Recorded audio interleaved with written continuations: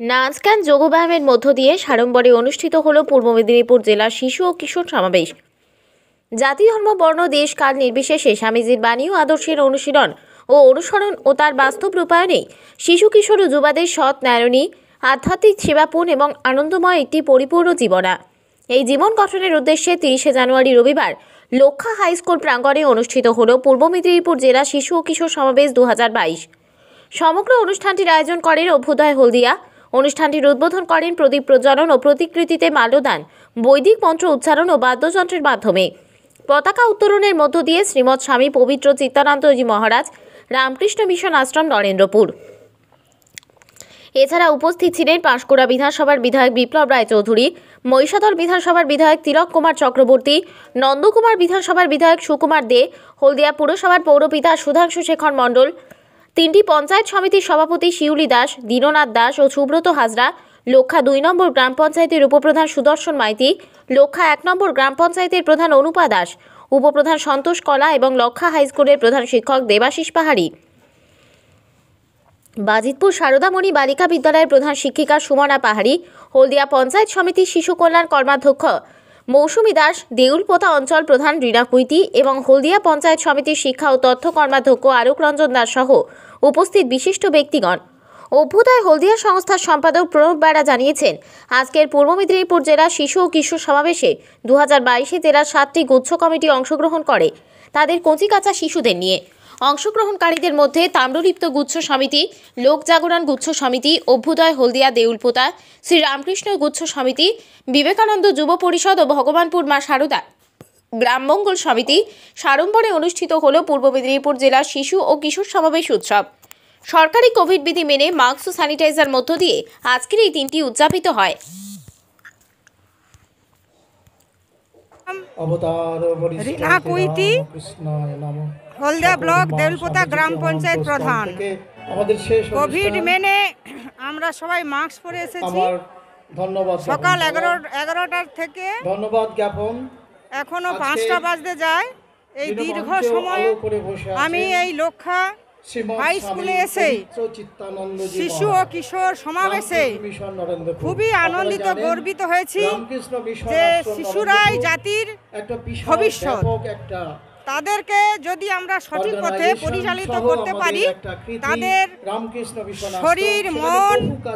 এবং তাদের থেকে কোনো মানুষকে আনা সমস্ত জীবন গড়ে উঠবে স্বামী বিবেকানন্দের। আদর্শে কারণ স্বামী বিবেকানন্দ তিনি একমাত্র বলেছিলেন শিশুদের পক্ষ থেকে যে তুমি তোমার লক্ষ্যে পৌঁছে যাও ওঠো জাগো তাই ওঠো জাগো লক্ষ্যে পৌঁছানো সেই নির্দিষ্ট আদর্শ বাণী আজকের শিশু উৎসবের মাধ্যমে আমরা পরিলক্ষিত করেছি। আমরা নাম রিনা কুইতি বেলপোতা গ্রাম পঞ্চায়েত। ও নারী সমিতির স্থায়ী সমিতির কর্মাধ্যক্ষা।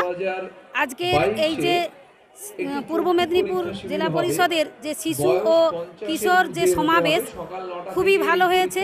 এই সমাবেশ সকলকে কোভিড সিচুয়েশনের মধ্যে থেকেও খুবই আনন্দ দিয়েছে।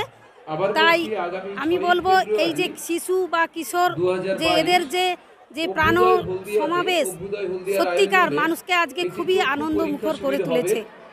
থ্যাংক ইউ নমস্কার। এটা রামকৃষ্ণ মিশন লোক পরিষদ নরেন্দ্রপুর তার যে ক্লাস্টার অর্গানাইজেশন আছে অভ্যুদয় থেকে আরম্ভ করে পূর্ব মেদিনীপুরে এরকম অনেক ক্লাস্টার অর্গানাইজেশন আছে। সেই ক্লাস্টার অর্গানাইজেশনের দ্বারা পরিচালিত আজকে শিশু এবং কিশোর পূর্ব মেদিনীপুরের বহু ছেলে মেয়ে এখানে ছোটো ছোটো ছেলেমেয়েরা এসছে। খুব ভালো লাগল খুবই আনন্দ পেলাম।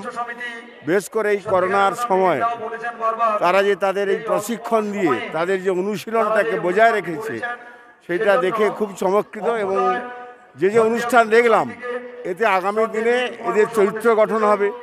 আগামী দিনে একটা মানব সম্পদ প্রকৃত মানব সম্পদ সৃষ্টি হচ্ছে। সেই জন্য এই সংস্থাকে ধন্যবাদ জানালাম। না আমি আমার একটা সংস্থা ছিল অনেক পূর্বে। ইন্ডাস্ট্রির জন্য জমি অধিগ্রহণ ফলে সংস্থাটি আর নেই।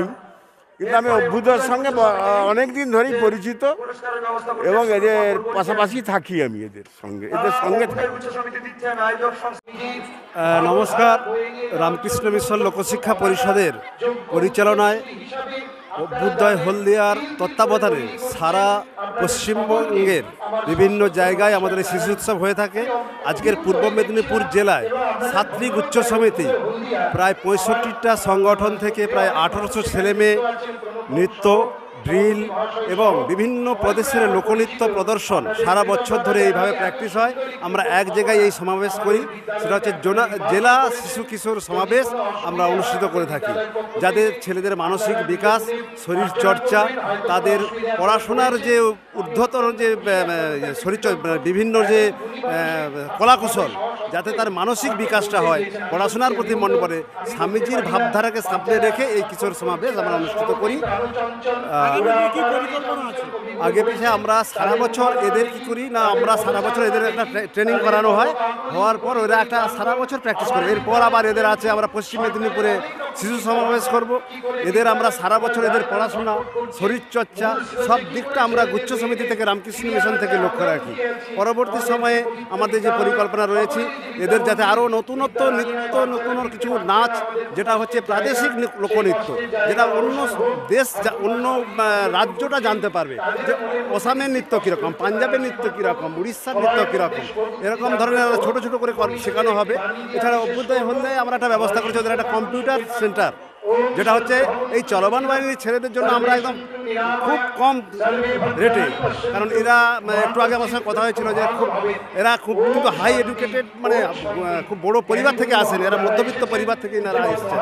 তাদের এদের কিছু শিক্ষার বিস্তারটা যা করার দরকার কোথাও ভর্তি, এদের পড়াশোনা ফ্রি কোচিং এটা আমরা সারা বছর লক্ষ্য রাখি বা পরবর্তী সময় এদের পরিকল্পনা রয়েছে। আর যেটা আমরা করছি যে পূর্ব মেদিনীপুর জেলায় আমাদের মায়েরা বা যারা আশাকর্মীরা আছেন, তারা হাওড়া জেলাতে প্রত্যেক বছর এই ট্রেনিংয়ে যায়। ওনারা অনেকবার আমাদের বলেছিলেন যে আপনাদের এত বড় প্রতিষ্ঠান, একটু দেখুন না।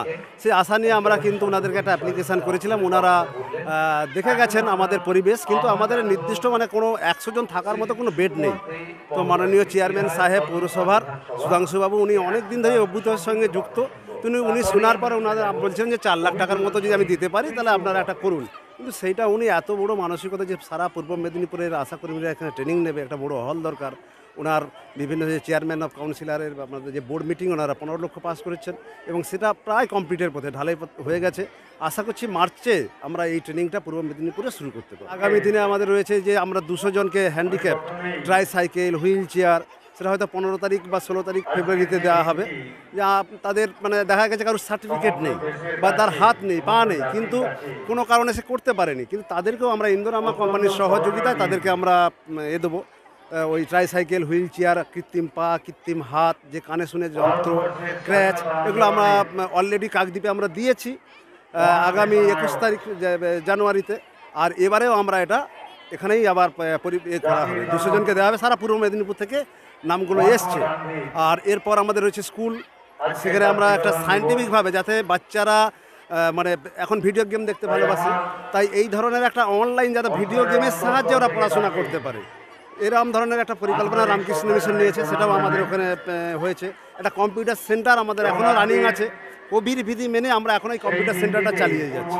এটা আমরা কিন্তু প্রথম থেকে আমাদের জেলা প্রশাসনের সঙ্গে কথা বলেছি। আমরা কিন্তু সকাল থেকে ওদের ঢোকার মুখে আমরা স্যানিটাইজার ট্রানেল প্রত্যেককে স্যানিটাইজার করেছি, প্রত্যেকের মাথায় একটা করে ক্যাপ প্রত্যেকের মুখে মাস্ক এটা আমরা করেছি এবং এলাকাটা, কালকের আমরা পুরো এলাকাটা স্যানিটাইজার করেছি। দেখুন, বাইরের লোকে আমরা খুব একটা অ্যালাউ করছি না, আমার দরজা লাগানো আছে।